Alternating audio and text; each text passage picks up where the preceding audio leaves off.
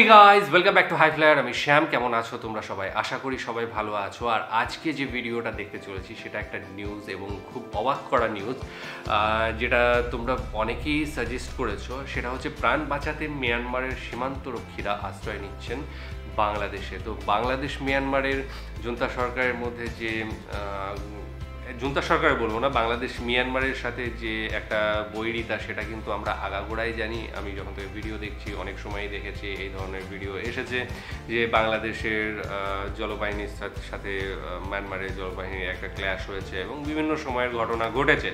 তো এইখানে আমরা যেটা দেখছি যে জুন্তা সরকার চলছে এবং সেখানে বিভিন্ন ধরনের গোষ্ঠীর সঙ্গে সেনাবাহিনীর দ্বন্দ্ব হচ্ছে এবং তারপরে এই ঘটনা যে প্রাণ বাঁচাতে গিয়ে মিয়ানমারের সেনাবাহিনী ঢুকে পড়ছে বাংলাদেশে। সেই ঘটনাটাই আজকের ভিডিও ডেসক্রিপশন বক্সে লিঙ্ক দিয়ে রাখব, সেখানে গিয়ে অরিজিনাল ভিডিওটা দেখো, সাথে সাথে চ্যানেলটাকে লাইক শেয়ার সাবস্ক্রাইব করে দিও। তো চলো ভিডিওটা দেখে নিই, তারপর আরও কথা হবে। রাখাইনে আরাকান আর্মির সঙ্গে জান্তা বাহিনীর চলমান সংঘর্ষের জেরে মিয়ানমার ছেড়ে বাংলাদেশে আশ্রয় নিয়েছে দেশটির সীমান্তরক্ষী বাহিনীর বিজেপির ছাপ্পান্ন সদস্য। বান্দারবানের তুমরু সীমান্তের বিজিবি ক্যাম্পে আশ্রয় নিয়েছে তারা। এদের মধ্যে দশজন গুলিবিদ্ধ সহ গুরুতর আহত বেশ কয়েকজন। এদিকে তুমুল গোলাগুলিতে আতঙ্কে গ্রাম ছাড়ছে সীমান্তবর্তী মানুষ। আবুল বাসার নয়নকে সঙ্গে নিয়ে আরও জানাচ্ছেন সৌরভ দেব। গুলিবিদ্ধ হয়ে রক্তাক্ত অবস্থায় সীমান্তের ওপার থেকে এপারে আশ্রয়ে ঢুকছে মিয়ানমার সীমান্তরক্ষী বাহিনী বিজিবির সদস্যরা। গুরুতর আহতরা বাংলাদেশিদের সহায়তায় আশ্রয় নেই বিজিবি ক্যাম্পে। দেশটির অভ্যন্তরে বিদ্রোহীদের সঙ্গে প্রচণ্ড সংঘর্ষ সহ্য করতে না পেরে সকাল আটটা থেকেই বাংলাদেশের অভ্যন্তরে ছোট ছোট দলে ঢুকতে শুরু করে মিয়ানমার সীমান্তরক্ষী বাহিনী বিজিপি সদস্যরা। আশ্রয়ে আসা প্রত্যেকেই সশস্ত্র ছিল। তাদের অস্ত্র জমা নিয়ে বিজিবির ক্যাম্পে আটক রাখা হয়েছে। আহতদের বিজিবি ক্যাম্প সহ বিভিন্ন স্থানে চিকিৎসা দেওয়া হচ্ছে। রোববার সকালে তুমরুর কোনারপাড়া সীমান্ত এলাকা দিয়ে চোদ্দ জনের একটি গ্রুপ প্রথম বাংলাদেশে প্রবেশ করে। স্থানীয়দের ধারণ করা ভিডিও চিত্রে দেখা যায় বিজেপি সদস্যরা ভয়ে আশ্রয় চাচ্ছিলেন। এ সময় তাদের স্থানীয়রা নাইক্ষংচড়ি বিজিবির ক্যাম্পে নিয়ে যায়। এদিকে তুমরু সীমান্ত এলাকার স্থানীয়দের ধারণ করা আরেকটি ভিডিও চিত্রে আরাকান আর্মির কয়েকজন সদস্যকেও বাংলাদেশের অভ্যন্তরে ঢুকতে দেখা গেছে। রোববার ভোররাত থেকে মিয়ানমার অভ্যন্তরে চলা তুমুল সংঘর্ষে পুরো সীমান্ত এলাকা জুড়ে আতঙ্ক তৈরি হয়েছে। কে কোথায় যাবে, কি খাবে, কি কোন জায়গায় ঘুমাবে, এমন অবস্থায় আছে। আমরা খুব চিহ্নিত এখন। ওপার থেকে ছোড়া গুলিতে তিন বাংলাদেশি আহত হয়েছে। সীমান্ত এলাকায় বসবাস করা স্থানীয়রা এলাকা ছেড়ে নিরাপদ স্থানে আশ্রয় নিচ্ছেন। চিন্তা করি আই এটা এটা দাম করে ফুটতে দে গদ এনে মেডিয়া দা সত্তরে অনেক গুলাগুলি হচ্ছে আমরা আতঙ্কে আছি আমাদের ছোট ছোট বাচ্চা আছে আমরা বই পাচ্ছি বই পাচ্ছি আমাদের বাচ্চারা কান্না করতেছে। আঘাতে মানুষ বাড়িঘর জড়িয়ে মানুষ বেশি গুরুতর আহত হয় একজন। সীমান্তবর্তী শিক্ষা প্রতিষ্ঠানগুলোতে দেয়া হয়েছে অঘোষিত ছুটি। পনেরোই ফেব্রুয়ারি থেকে শুরু হতে যাওয়া এসএসসি পরীক্ষার্থীদের জন্য বিশেষ ব্যবস্থা নেওয়ার কথা জানিয়েছে স্কুল ম্যানেজিং কমিটির সদস্যরা। এখানে আশেপাশের আমাদের কমিটির বিভিন্ন সদস্যদের বাড়িতে এবং আমাদের মুরব্বীদের বাড়িতে আমরা এনে প্রয়োজনগুলো এখানে রেখে আমরা সুষ্ঠুভাবে যাতে পনেরো তারিখ থেকে পরীক্ষা নির্বিঘ্নে হয় সেটা আমরা ব্যবস্থা নেব অসমর্থিত বিভিন্ন সূত্র বলছে, মিয়ানমার অভ্যন্তরে বাংলাদেশের তুমরু সীমান্ত এলাকা লাগোয়া জান্তা বাহিনীর রাইট ক্যাম্প পুরোপুরি দখলে নিয়েছে আরাকান আর্মি। তবে সামগ্রিক বিষয়ে বাংলাদেশের বর্ডার গার্ড বাহিনী, বিজিবির আনুষ্ঠানিক কোনো বক্তব্য পাওয়া যায়নি। সৌরভ দেব, দেশ টিভি, কক্সবাজার। আচ্ছা প্রথমে যে কথাটা বলছি সেটা হচ্ছে যে ভিডিওতে দেখলাম যে গোলাগুলির আওয়াজ শোনা যাচ্ছে এবং বাংলাদেশের সীমান্ত থেকে শোনা যাচ্ছে। তার মানে যে জায়গাটা সেটা ওপেন বর্ডার কি, সেটা একটু ক্লিয়ার করো। কারণ পুরো একটা, আর সেটা যদি হয়, তাহলে কিন্তু খুব খারাপ একটা পজিশানে আছে যারা সীমান্তে বসবাস করছে যারা বাংলাদেশি রয়েছে। তাদের ক্ষেত্রে কিন্তু একটা জীবনহানির ব্যাপার থেকেই থাকে।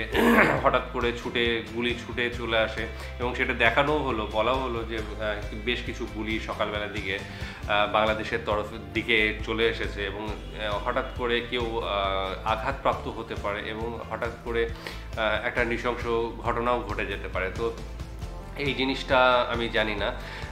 যেটুকু শুনে মনে হলো যে খুব কাছেই গোলাগুলি চলছে এবং সেখানে আশা করি বিজিবিও আছে বাংলাদেশের যে সীমান্ত রক্ষী বাহিনী। এরপরে যেটা দেখলাম যে ওদের সেনাবাহিনীর যারা বর্ডার সীমান্তরক্ষী বাহিনী, তাদেরই পনেরো জন প্রথমে এসেছে এবং টোটাল ছাপ্পান্ন জন এসে গিয়েছে বাংলাদেশে এবং আশ্রয় নিয়েছে। সেখানে কি পরিমাণ গণ্ডগোল চলছে, গোলাগুলি চলছে, সেটা তো নিজের চোখে কানে শুনলাম। চোখে দেখলাম বল, বলা ভুল, কানে শুনলাম, কারণ এই যে গুলির আওয়াজ শোনা যাচ্ছিল।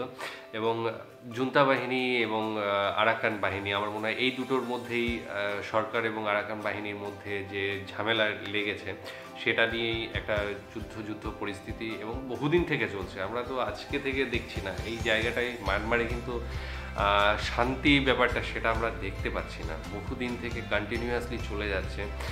কোনো বন্ধ বা বিরতির কোনো নামগন্ধ নেই এবং তারপরেও কীভাবে মানে অন্যান্য দেশ চুপ করে বসে আছে, বিশেষ করে রাষ্ট্রসংঘ কী করে চুপ করে বসে আছে বুঝতে পারছি না।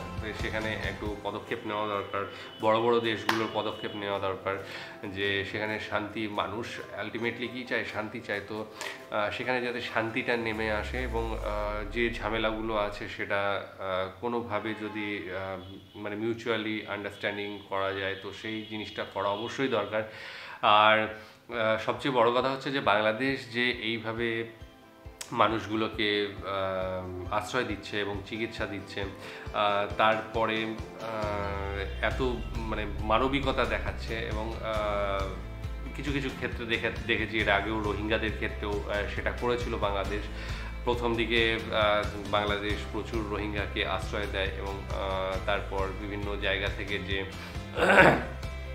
কি বলব এড আসছিল। তো সেই এডগুলো প্রথম প্রথম আসছিল, প্রচুর পরিমাণেই আসছিল। কিন্তু পরবর্তী সময়ে আমরা যেটা শুনতে পাই ভিডিওতে বা নিউজে যেটা শুনি, আমি দেখি রিয়াকশন চ্যানেলে যখন বসি তখন দেখি যে প্রচুর এড আসা বন্ধ হয়ে গিয়েছে এবং যারা এসেছিল রোহিঙ্গা, তাদের মধ্যে অনেকেই অসামাজিক কাজকর্ম করে চলেছে এবং বাংলাদেশের মেন স্ট্রিমের সাথে গুলিয়ে মিশে গিয়ে সেখানে কিছু অসামাজিক মানে কাজকর্ম, চুরি ডাকাতি, রাহাজানি এই ধরনের প্রচুর ঘটনা আমি শুনতে পেয়েছি যে রোহিঙ্গা যারা রয়েছে তারা এসে করে গিয়েছে এবং সব মানে সমাজে একটা বিশ্রী একটা ঘটনা ঘটিয়ে বেড়াচ্ছে তারা। এবং আরেকটা ব্যাপার হচ্ছে যে রোহিঙ্গা যে ক্যাম্প রয়েছে, সেখানে প্রচুর রোহিঙ্গা রয়েছে এবং যে জনসংখ্যা বৃদ্ধি, সেখানে তারা এডের মাধ্যমে বিভিন্ন সংস্থা রয়েছে, তারা খাবার দাবার সবই পাচ্ছে, কিন্তু কোনো কাজ নেই। এবং তার ফলে কি হচ্ছে যে তারপরেও জেনারেশন যেটা বাড়ার, সেটা তো বাড়ছেই।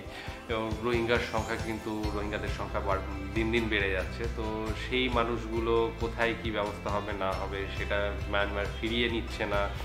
বা যাই করুক, যেটা আসল জায়গা তাদের সেখানে ফিরে যাচ্ছে না এবং রোহিঙ্গারাও ফিরতে চাইছে না। তারাও মিশে যেতে চাইছে বিভিন্ন বেআইনিভাবে কাগজপত্র তৈরি করে নিচ্ছে। তো এই জিনিসগুলো মানে বাংলাদেশেরও একটা বাড়তি চাপ এবং সোশ্যাল সিকিউরিটিরও একটা ব্যাপার। তো এইগুলো কীভাবে কাটিয়ে উঠবে বাংলাদেশ সেটা অবশ্যই দেখতে হবে এবং সাথে সাথে এখন আবার যে হচ্ছে সৈনিকরা পালিয়ে আসছে, যদিও এদের আইনগতভাবে ফেরত পাঠানোই যায় এবং সেটা আশা করি করবে। তবে যে মানবিক দিকটা বাংলাদেশের রয়েছে, সেটা অবশ্যই আমরা দেখতে পেলাম এবং আগামী দিনেও দেখতে পাবো। হয়তো আশা করছি যে সমস্ত ঘটনা চারিদিকে ঘটছে মানে বিশেষ করে মায়ানমারের ওই সাইডটায় তো সে জায়গায় মানবিকতা বাংলাদেশ বরাবরই দেখিয়ে এসেছে এবং আজকেও দেখলাম। খুব ভালো লাগল ভিডিও আশা করি তোমাদেরও ভালো লেগেছে। ভালো লাগার চাইতেও বড় ব্যাপার হচ্ছে কিছু কিছু জায়গায় টেনশন হয়, তো সেই টেনশনটাও কাজ করছে। অবশ্যই সেখানকার যারা মানুষ রয়েছে, যারা সীমান্তে বসবাস করছে, তাদের অবশ্যই সেটা একটা কি বলব একটা দুর্বল জায়গা সেই জায়গাটা।